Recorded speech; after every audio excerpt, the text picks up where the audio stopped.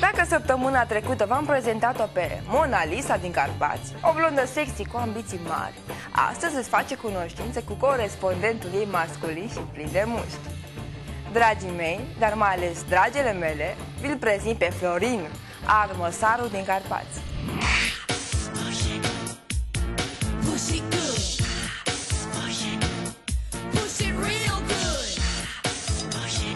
Pur sânge carpatin.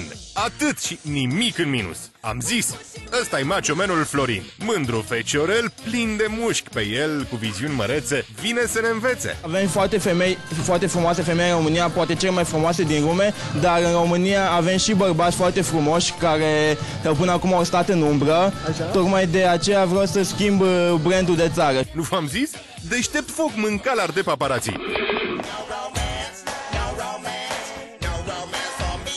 Uitați de grădina carpatină și uh, fiți uh, cu ochii în patru pentru bărbații din Carpați, care sunt uh, cei mai dotați, nu?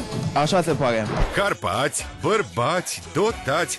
e și poet armăsarul nostru. Nu pot spun că am avut un număr de XY femei cum fac toți care se laudă, dar tot ceea ce am avut, uh, toate fetele au fost foarte mulțumite și n-am primit uh, Oh, observați. observații. Măi, armăsarule, măi, măi, căluțule, măi, ai grijă, vorbesc gurile rele că ministresa Audrea zgârie rău, chiar și armăsar șefi. Sunt cei mai mari măsari. Tu ești șeful lor? Tind. Timp să fii ce, uh, Florin Armăsarul din Carpați, nu? Se poate spune. Eu am o ruletă pe care scrie bine dotat, așa să vadă toată lumea. Așa, eu te provoc să ne arăți tuturor celor de acasă și în special doamnelor și domnișoarelor care mor de curiozitate, cât de bine dotat ești tu. De ce mă așteptam la asta? Ia. Să vedem. Ajungem la 25 de centimetri. S-a blocat. Sunt o păpușe masculină Și mi se spune sex mașină Doamnelor și domnișoarelor, niște oțet, o palmă, ceva?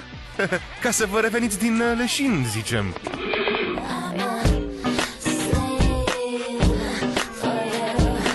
Ce caută harta la, la tine în uh, sufragerie? Păi în momentul de față uh, fac un studiu referitor la localitățile din România care majoritatea au uh, nume cu conotație sexuală. Conotație sexuală? Aici?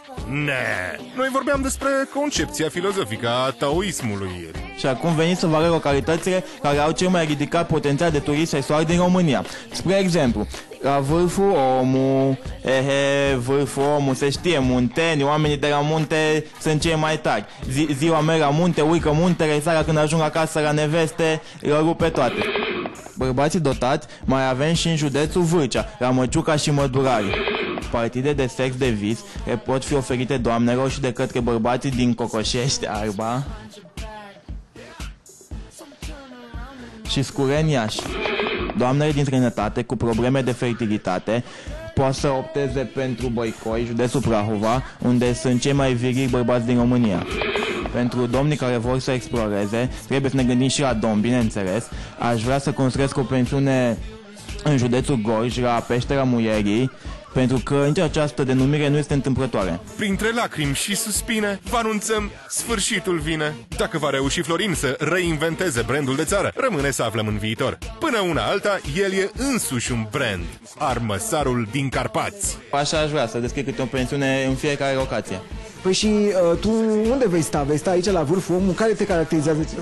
Eu să stau acasă și pun câte un administrator la fiecare pensiune. Sunt destui bărbați în România care sunt capabili Capabil să... să ofere doamnelor servicii și plăceri de neuitat.